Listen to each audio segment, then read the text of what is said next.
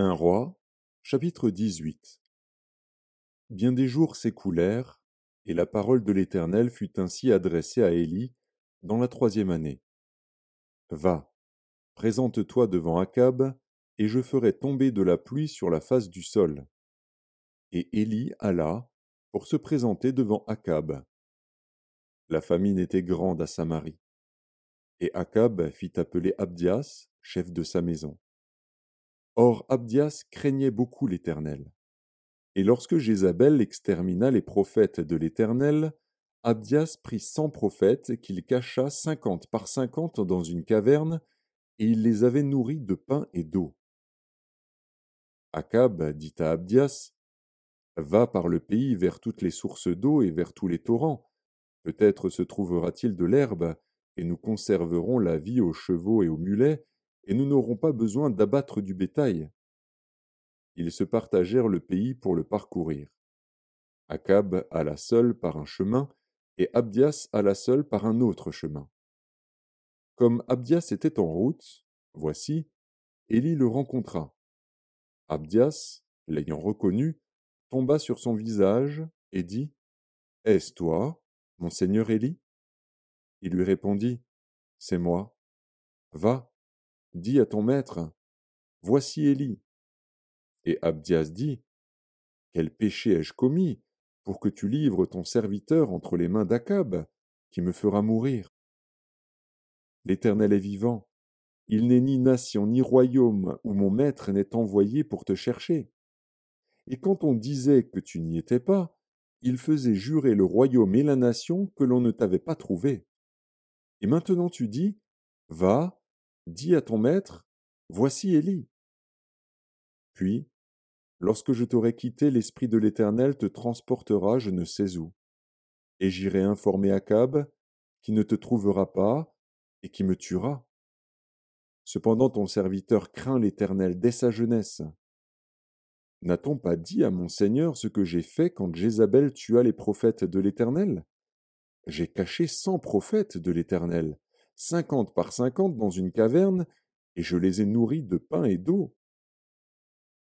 Et maintenant tu dis, Va, dis à ton maître, Voici Élie, il me tuera. Mais Élie dit, L'Éternel des armées, dont je suis le serviteur, est vivant. Aujourd'hui je me présenterai devant Akab. Abdias, étant allé à la rencontre d'Akab, l'informa de la chose. Et Akab se rendit au devant d'Élie. À peine Akab aperçut-il Élie qu'il lui dit Est-ce toi qui jettes le trouble en Israël? Élie répondit Je ne trouble point Israël. C'est toi, au contraire, et la maison de ton père, puisque vous avez abandonné les commandements de l'Éternel et que tu es allé après les Baals. Fais maintenant rassembler tout Israël auprès de moi, à la montagne du Carmel, et aussi les quatre cent cinquante prophètes de Baal et les quatre cents prophètes d'Astarté qui mangent à la table de Jézabel. Akab envoya des messagers vers tous les enfants d'Israël, et il rassembla les prophètes à la montagne du Carmel. Alors Élie s'approcha de tout le peuple et dit Jusqu'à quand clocherez-vous des deux côtés?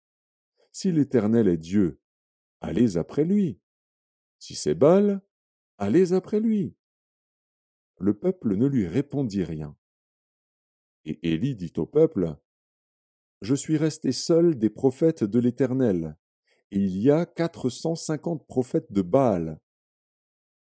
Que l'on nous donne deux taureaux, qu'ils choisissent pour eux l'un des taureaux, qu'ils le coupent par morceaux, et qu'ils le placent sur le bois, sans y mettre le feu.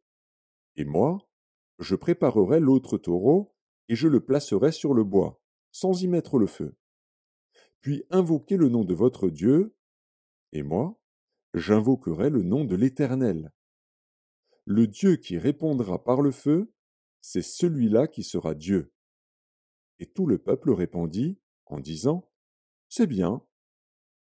Élie dit au prophète de Baal Choisissez pour vous l'un des taureaux, préparez-le les premiers, car vous êtes les plus nombreux, et invoquez le nom de votre Dieu.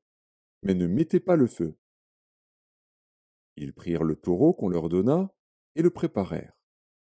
Et ils invoquèrent le nom de Baal depuis le matin jusqu'à midi en disant Baal, réponds-nous. Mais il n'y eut ni voix ni réponse, et ils sautaient devant l'autel qu'ils avaient fait.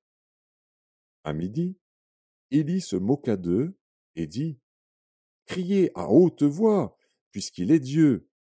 Il pense à quelque chose, ou il est occupé, ou il est en voyage.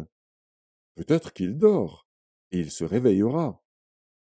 Et ils crièrent à haute voix, et ils se firent, selon leur coutume, des incisions avec des épées et avec des lances, jusqu'à ce que le sang coulât sur eux.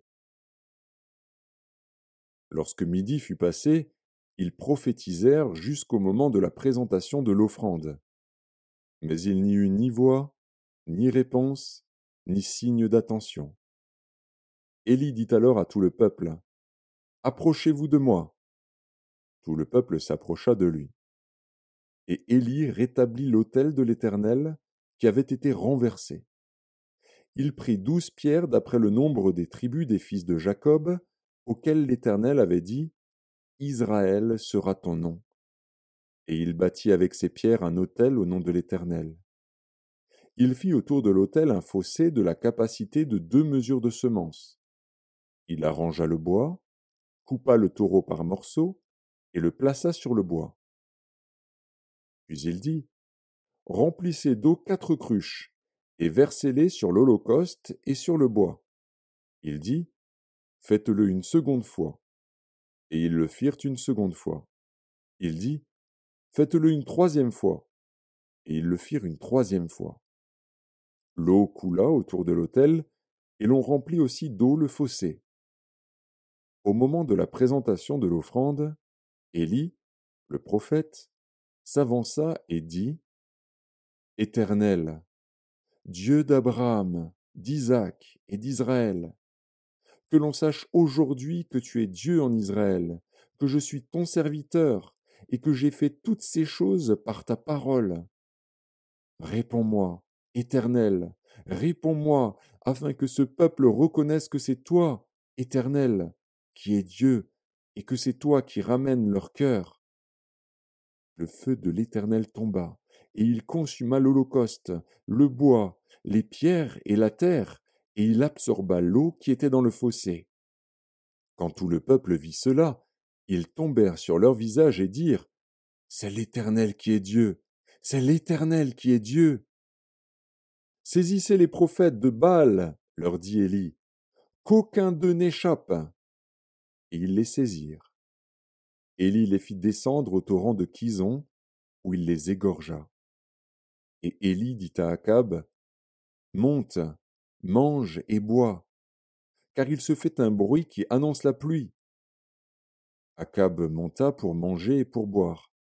Mais Élie monta au sommet du Carmel, et, se penchant contre terre, il mit son visage entre ses genoux, et dit à son serviteur, Monte, regarde du côté de la mer.